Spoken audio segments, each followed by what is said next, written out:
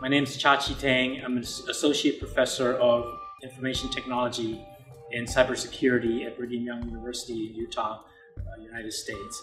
I'm here as a Fulbright scholar visiting uh, as a faculty at National Tsing Hua University in the computer science department. I am on a half teaching, half research grant.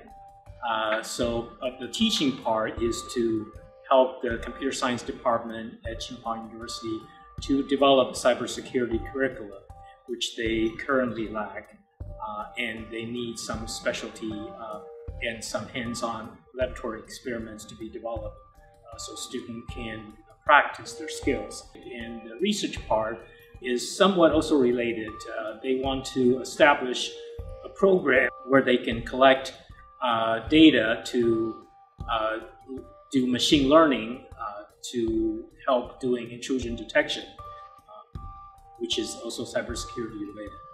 I think we all kind of have basic understanding how cybersecurity is important at this age.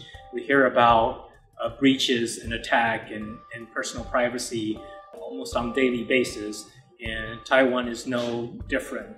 Uh, and, uh, and they are desperately in need of uh, educating the next generation of professionals to come up and jump into the career and help private industry, businesses, as well as government or even military to strengthen their uh, ability to protect themselves and uh, keep their systems uh, safe and functional. I have a long uh, career experience in developing uh, computer software systems.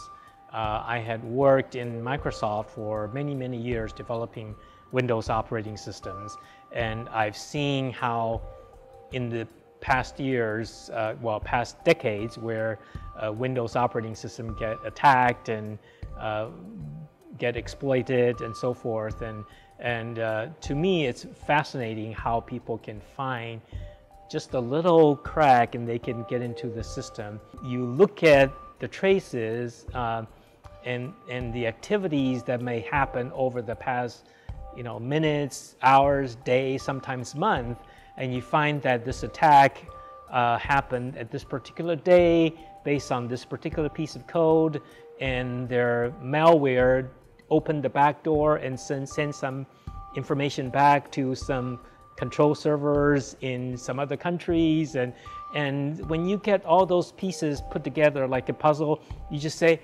wow, this is amazing. And, and I get fascinated by that. And that's why I keep doing it because it's really like solving a puzzle. It's like solving a mystery and, and you learn uh, new things on regular basis and you never get bored. Probably the most important factor is the prior uh, connection with the National Tsing Hua University. Uh, we had collaborated on other projects before.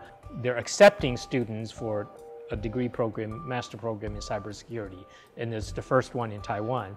So the timing is kind of interesting and worked out. So uh, when we started talking about it, they say, you know, I think it will be helpful to have you come here and help us develop some courses where I, we can adopt into their uh, master's in cybersecurity program. Some student may think that, oh, you have to be a, a computer programmer to be a cybersecurity uh, person, but that's really not the case.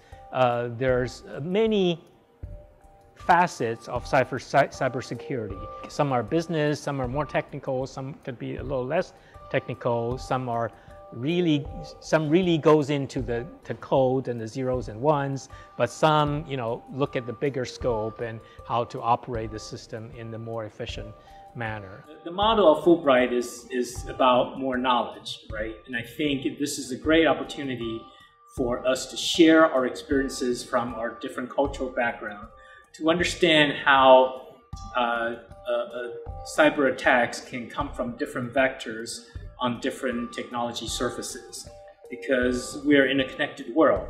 Uh, businesses, financial institutions, military, we're all connected, right? If uh, Taiwan become vulnerable and subjected to attacks, then the United States become vulnerable and subject to attack, right? So, so it's, it's, it, we're all in this together, shall we say, uh, as far as trying to keep our system secure uh, is, is concerned.